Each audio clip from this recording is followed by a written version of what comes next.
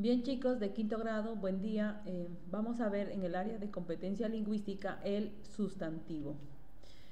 En lo que va acá, el sustantivo eh, nos dice accidentes gramaticales, género, número. Género, masculino, femenino, número singular y plural, ¿correcto?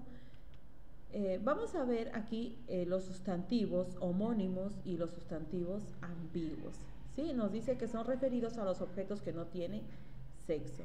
En los homónimos dice cuando varía su género por el, el artículo cambia su significado. Por ejemplo, el cura, que nos referimos a sacerdote. La cura, solución a una enfermedad. ¿Sí? Entonces, mira, cura, cura, que son palabras homónimas, pero para distinguirlo estas palabras es importante utilizarlo el artículo. Y cuando hablamos de sustantivo ambiguo, admite el uso de ambos géneros y su significado no cambia. Como podemos decir, mar, el mar, la mar. ¿Sí? Tilde, el tilde o la tilde.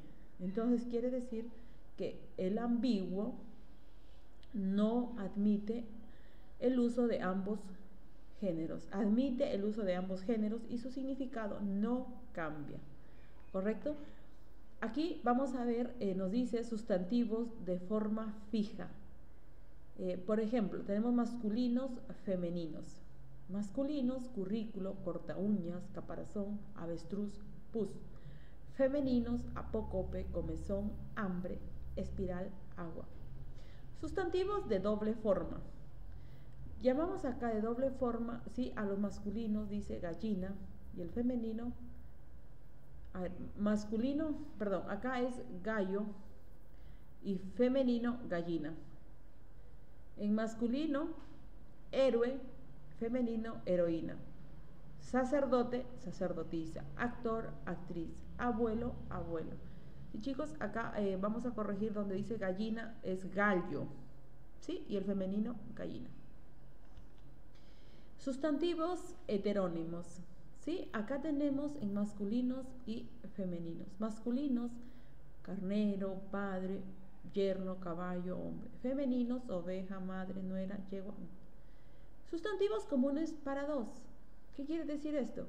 Que solamente se utiliza el artículo para distinguirlo ahí a quién nos dirigimos. Periodista, decimos el periodista o la periodista. Ciclista, el o la. Cavernícola, el o la. Adolescente, el o la. Sustantivos epicenos. Nos dice aquí, masculino. En los epicenos, chicos, se va a utilizar para distinguirlo cuando ya, como no sabemos, por ejemplo, tortuga, yo digo tortuga macho y tortuga hembra. Colibrí, macho y colibrí hembra. Y en femenino decimos araña macho o araña hembra.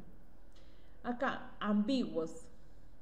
Los ambiguos, como les estuve explicando, que ¿de acuerdo? Sí, solamente es para distinguirlo acá con el artículo, pero no cambia, por eso se le dice ambiguos, mar, mar, dote, dote, margen, margen, solamente utilizamos el artículo el, hola. Gracias chicos, espero que esta diapositiva les sirva para completar eh, su libro de competencias lingüísticas. Gracias.